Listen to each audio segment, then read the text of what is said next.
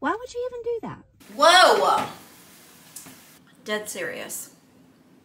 This is probably the best thing I've ever done in my life. Besides my children, this right here. Mmm. Oh man.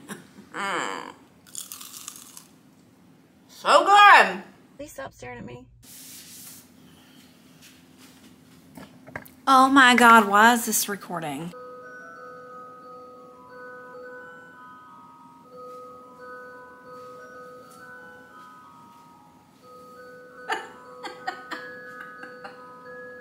Welcome to today's video. I'm so stoked for you guys to be here today. You guys know I've been talking about adding a little bit more cooking and things like that into this channel and today's the day. I don't know why it's taken this long, but I'm really pumped about this video. I'm also collaborating with a good friend that I've had here on YouTube for a long time, and I don't know why it's taken us this long to do this collaboration, but today's the day, and I'm super excited. If you guys have not already heard of Melonie, her channel is In the Kitchen with Momma Mel. She is one of the sweetest people I have ever encountered in my entire life.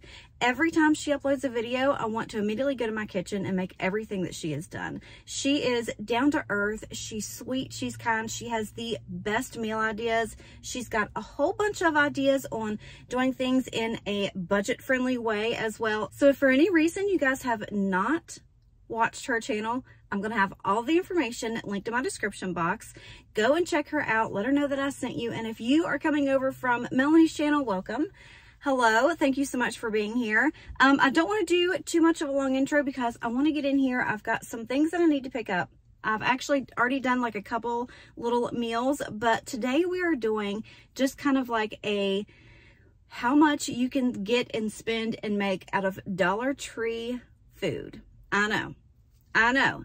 I don't go to the Dollar Tree and look at food really all that much either, but they've got some good things in there, some little gems. So I wanted to take you in there and just kind of show you around and just see a little bit of the stuff that they have at this store. A lot of you guys might have a bigger Dollar Tree that has a lot more, but this is the one right by my house. So we're gonna go in and take a quick look, but then we're gonna get right into the kitchen and start making our yummy Dollar Tree meals. So let's go. Okay, not what we're here for, but how stinking cute are these glasses? And this one, gorgeous. So they actually do have like a really big selection of rice and dry beans, which is awesome. Lentils, I've never had lentils. I wouldn't even know where to begin with that, but I do like this yellow rice. It's really good. You can make so many things with this. You know, you know. Now I did have to go to two different stores, but I only ended up spending 20 to 83, I think. So not bad. Everything under $23 for five meals. So the first thing I'm going to make is this potato gnocchi, and I know I'm probably saying that wrong, but I do love this stuff. I've had it before. I've not had it from the Dollar Tree, but we're gonna go ahead and make this. And for the sauce, I'm just going to use some of this Alfredo sauce and just some Parmesan cheese. So I'm just gonna go ahead and put these in some boiling water. They don't take too long, literally just a couple of minutes. I think it's just until they start to float and then they're done. And for a side, I'm just going to use two pieces of this Texas toast with garlic parmesan. Okay, now that these are floating, I'm going to go ahead and remove them from the water and start to heat up my Alfredo sauce. Okay, so I added just a little bit of pepper and a little bit of parsley, and now we're going to try it and I'll tell you how it is. Okay, so I have the little side of the garlic bread and I'm going to give it a taste. It looks good. It looks good, but I'm going to give you an honest opinion. And I honestly am terrified. Okay.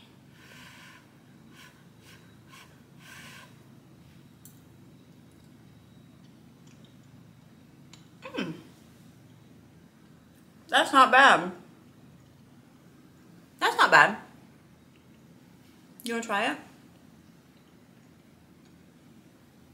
You guys couldn't tell by the background, I'm not at home because my power's out. So my mother so graciously let me use her kitchen. So I'm gonna make her try all of these foods. So come here, Debbie. If you guys have not met Debbie, this is Debbie. Take a bite.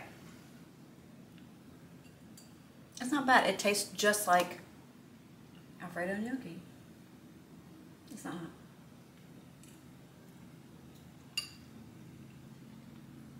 Mm. Not bad. Not bad. What would you give this out of 10? For a Dollar Tree meal. what was that look? It's stuck to my tooth. Oh. It's a for a Dollar Tree meal. For a Dollar Tree meal, I get it a seven. Yeah. It's not bad. It really isn't. And you get a lot. There's a lot of that in there. Not bad. I'm sure the bread would make it better too. Mm-hmm. Do you want to bite? No, I'm just saying. Okay.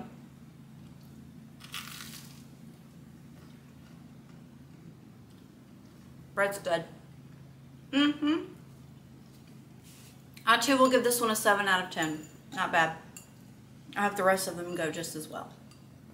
Okay, so the next meal idea that I had was to go ahead and use the rest of this Texas toast and then add on top of it some of this ziti from Michelina's. I do love these little meals and I think they're really good. And then I'm gonna add some of this cheese on top of it and bake that in the oven.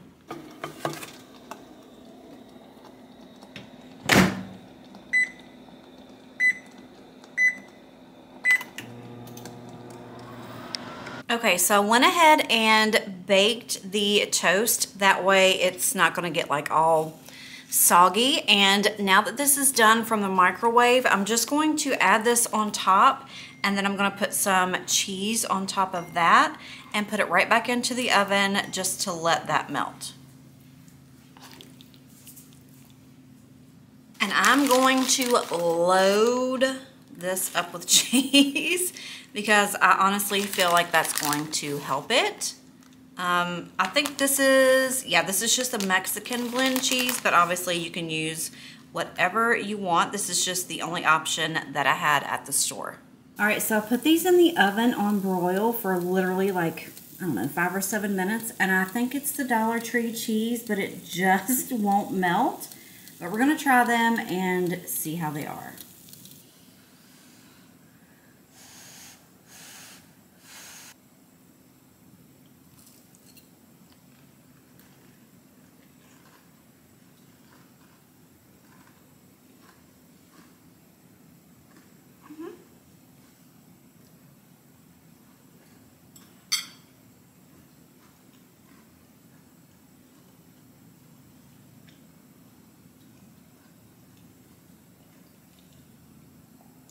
Very good. Even the cheese.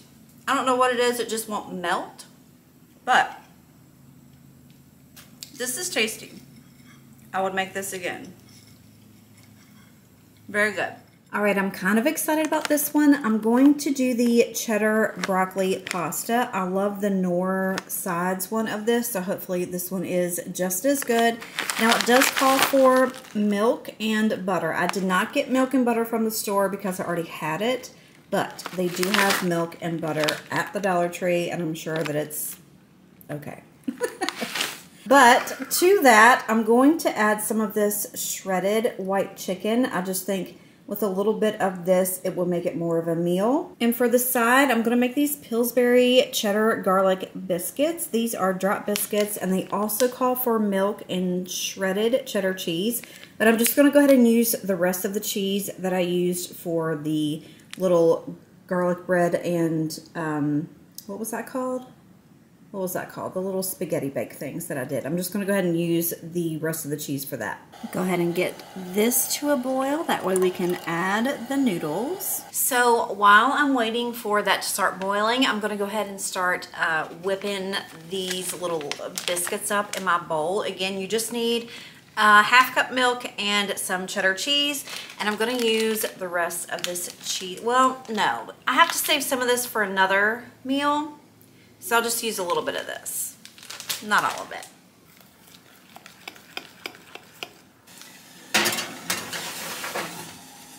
Okay, now that this is pretty much done, I'm just gonna go ahead and add the chicken to it. That way it can be heated up with the pasta at the same time. And I do wanna add that I drained this very, very well. I was really excited about this one and I hope it turns out well. Um, otherwise, I'm going to be very disappointed.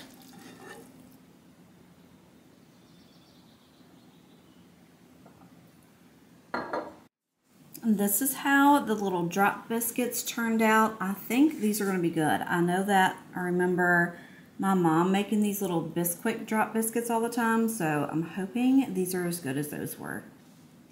Okay, this is the one that I had high hopes for. It doesn't look amazing, but I hope it's good.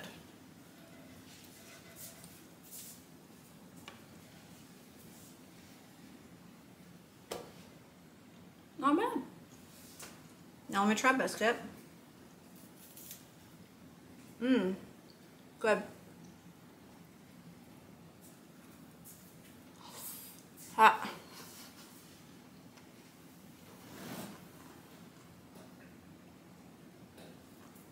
Very good. I'd give this one an 8.5 out of 10. It's good. And you can really, um, like, season this up. And that's another thing that I've noticed. Dollar Tree has a ton of seasonings. A ton. Let me show you. Let me show you what I found. I keep seeing this all over the place, this Dan-O seasoning, and I know that you can really only find it like online, but they had just like a little pack of it, and I went ahead and grabbed it. I haven't tried it on anything yet, but they do have a ton of spices, so if you need to like stock up your pantry or anything like that, I think you're you're pretty good to go to the Dollar Tree and grab something that they got there. Okay, now we're going to go ahead and do something just very basic, very old-fashioned. I've got some beans, I've got some cornbread. This will take you for days, I feel like. You can feed like half an army with just some beans and cornbread, so I decided to go ahead and do that with this challenge as well. So again, this does call for milk and eggs, which I did not buy at the store because I already had it, but it is there if you need it. Um, I feel certain that it's pretty okay for you to buy it there. I don't know. Again, there was like some, um, I don't know, something going on. I don't know if they were getting like new coolers or something, but pretty much like both of the stores that I went to, the coolers were on the frets. So um, I wouldn't have got it out of there anyways. And I've already dirtied up all of mom's forks. So we're just gonna use this little, uh, it's a steak stabber. We'll just use that. Anything works. So I decided to just go ahead and do the cornbread in like these little muffin, you know, muffin pan. I don't know how many of these are supposed to make, but we'll do, we'll do what we can. We'll see before I make a mess out of everything. We will slide these in here for 15 to 20 minutes, I think. And then I'll go ahead and put the beans in the pot. And I think I'm going to add some seasoning to them just to kind of help them along. Gonna go ahead and add the beans. And I think I'm gonna go ahead and use this Dan-O's seasoning packet. I'm not exactly sure what's in here, but it does say the ingredients are dehydrated garlic and an onion, spices, sea salt, mustard seed, lemon peel, and orange peel. So I mean, it can be bad, right? It says, replace your salt and pepper, grate on vegetables, chicken, fish, steak, seafood, pork, and everything else. So we'll go ahead and add just a little bit of this to the beans just to give them some flavor. I mean, anything that you put in beans can't be bad, right? Okay, you guys, beans and cornbread, a staple in my house. Um, I figure you can't really up beans and cornbread, but the beans aren't aren't, aren't very beany, if that makes sense. They're very pale, like me. Um, let me show you what they look like. Hold on. All right, so see how they don't have like a lot of color? I don't know. I think I'm just, I don't know. I don't know. Let's just, let's see how they taste. The cornbread though does look amazing. I do wish I had thought about grabbing a can of creamed corn because they did have that there. And a lot of times when I make cornbread, I will add a little bit of creamed corn to my cornbread muffins. It just makes it a little more authentic, but I forgot to do that. So if you wanna do that, um, have at it because I do know that they have corn or creamed corn at the Dollar Tree. I did see it. Okay, let's see if the Dan-O's made any difference at all with the beans. I'm hoping so because I didn't add anything else to it. Usually I do like a little um, fat back or whatever when I'm doing my beans, but they didn't have any of that at the Dollar Tree. So I'm hoping that the Dan-O's helped.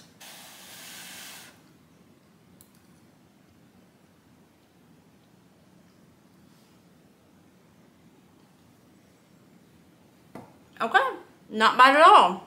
I'm very impressed. Very, very, very impressed with this one.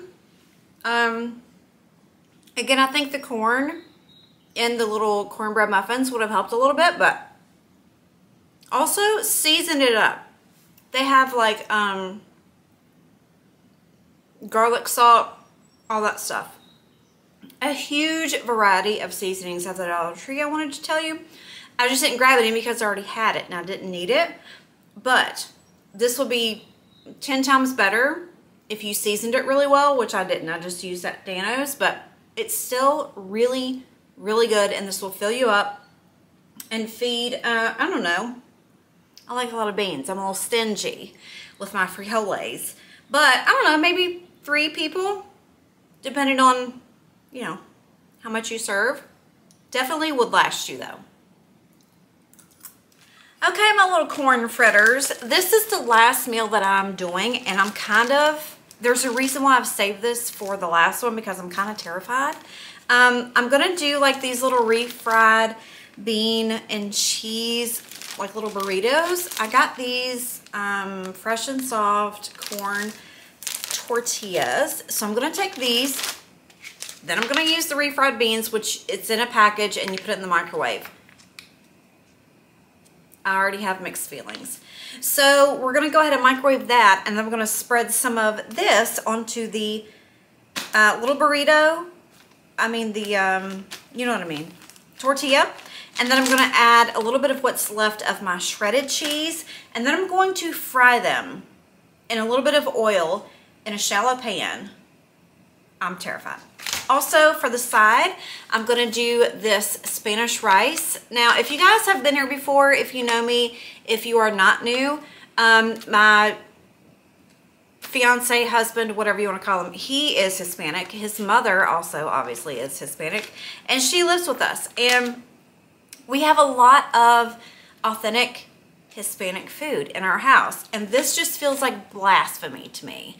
But we're to try it because, you know, not everybody has the luxury of having their, you know, Spanish mother-in-law in your house to cook Spanish food. So let's go ahead and get right into these because again, like I said, I'm terrified. I don't know if I'm afraid of setting the house on fire, having a, a grease fire, or this just tasting like absolute dog crap. Okay, so let's just let's do it. Let's do it. I've been holding off on this one for too long. Let's just go ahead and do it. Okay, first things first, we'll go ahead and put this in the microwave, which I feel really, really weird about, but we're gonna go ahead and do it. That's what the instructions say for a minute and a half. Okay, so the beans are done, and I'm actually just going to put them, ooh, they're hot, into a bowl to make it easier for me to work with. Yeah, and they probably need to be mixed up too. Okay, so how I'm gonna do this is just take one of the tortillas, which it's already tearing apart on me, but we're gonna take one tortilla and then I'm gonna put just some of the beans on that. There's birds. I have the door open and there are birds like just having a field day out there. I mean, you do you, boo.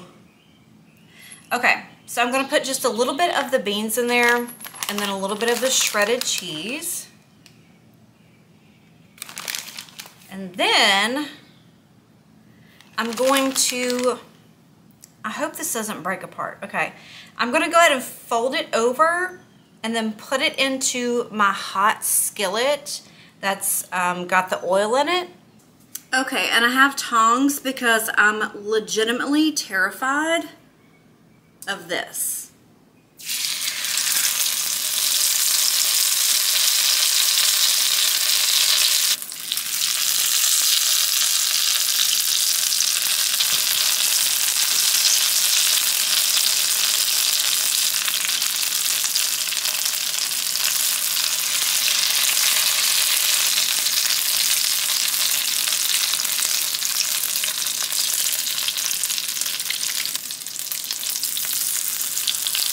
Okay, now that the little tacos are done, I'm gonna go ahead and put the rice in the microwave. It says to tear the top one inch, I guess for venting purposes. And go ahead and put it in the microwave for 90 seconds. So, let's see what this brings.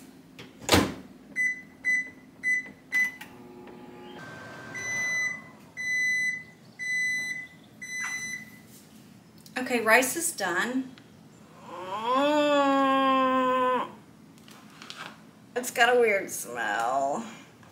It's got a weird smell. Hold on. Let me get it in a bowl and we'll we'll discuss. All right, let's see what we got. Oh.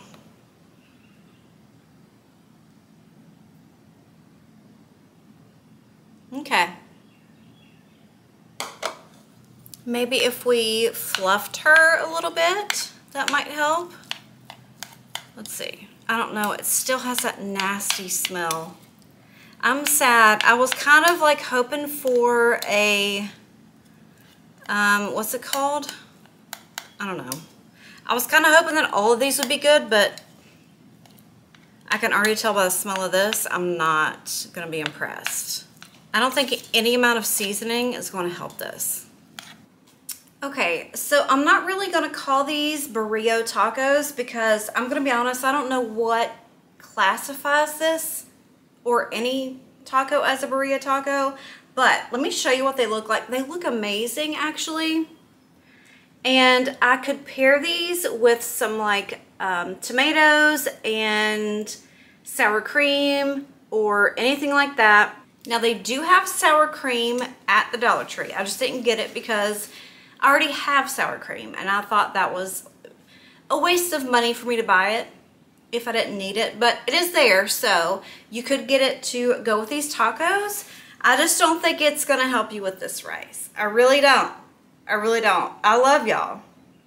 That is the only reason, the only reason I'm taking a bite of this. Because it literally smells like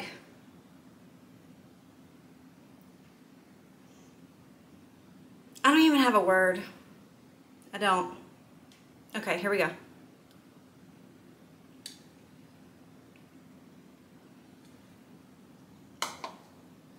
Mm.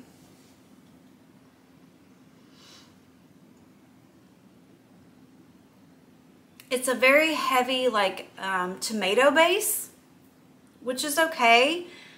It very much tastes like it smells. Not for me not for me. Um, I would probably go ahead and make like the yellow rice or jasmine rice, which was actually at the Dollar Tree as well that I showed you earlier. But I figured I would go ahead and try the Spanish rice because, I mean, it's already got the seasoning, the seasoning in it.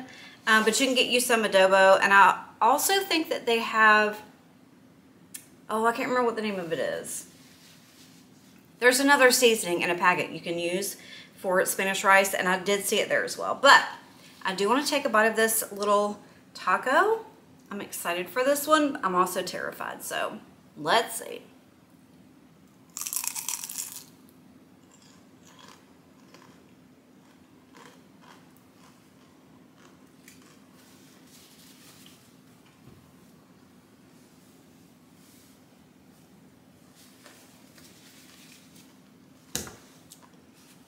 Y'all, I don't know what I was so afraid of. This right here, amazing. Amazing. They also, okay, they also had like uh, little cans of the enchilada sauce. You could have that to dip it in. Um, so many things. So many things, but even just this by itself with literally Dollar Tree tortillas refried beans and some cheese.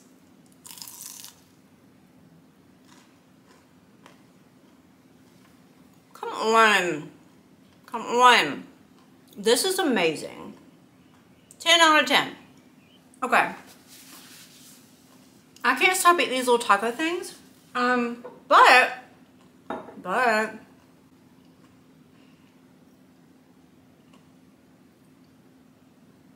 I do want to say how actually surprised I am with how good this stuff was. I've never in a million years thought to look at food at the Dollar Tree.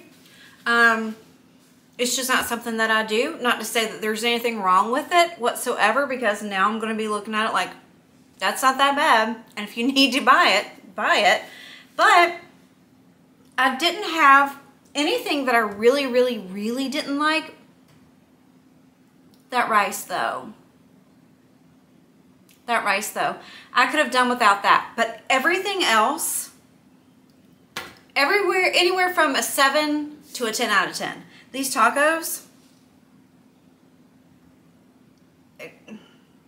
mm, mm, the little crunch, the beans and cheese, and that's just plain. Could you imagine if you got some sour cream or some of that enchilada sauce? Mmm, but so good. I'm impressed. I hope you guys enjoy this video. Um, if you're new again, thank you so much for coming to watch. Thank you to Melonie for collaborating with me. I don't know why it's taken us this long. Um, we've been friends on here forever, but thank you. I love you. And if you've come over from Melonie's channel, hello and welcome. Thank you again for coming to watch. Please, if you are into realistic, real life, down to earth, cleaning videos, decluttering, cooking, meals for two, or anything of that nature, please stick around. I would love for you to become a part of my YouTube family. Also, don't forget to go and follow me over on Instagram. We have tons of fun there. I'm a little bit crazy, um, maybe a lot of bit crazy, but it's okay. We all are, right? I just like to show it on the outside. But I hope you guys enjoyed this video. It was a little bit something different. I had a ton of fun making it. And uh, I gotta go. I need to clean up this mess before my mom tears my hind end up. So thank you so much again for being here. I love you and appreciate you and I'll see you next time. Bye.